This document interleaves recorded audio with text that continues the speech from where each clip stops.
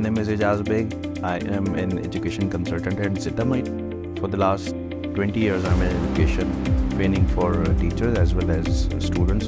And for the last seven years, I'm continuously working on employability skills of children.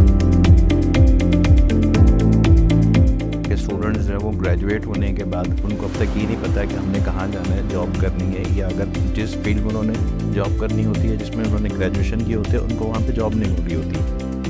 So after long time then I got to know here at B R B K जो एक, जिस course का उन्होंने आज बताया मैं assure का this is one of the fantastic अगर आप लोग कहेंगे कि इसको मार्क करेंगे ज़ीरो से टेन तक तो मैं में इसको मैं इलेवन मार्क्स दूँगा।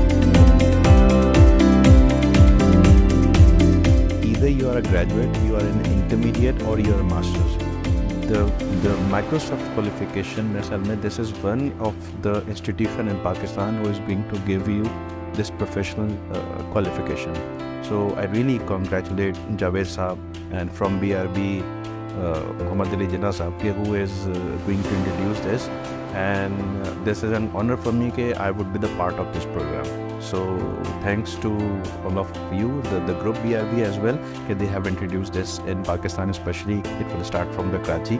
So hope so that most of the students will get this platform very soon, I guess in January or December. Thank you.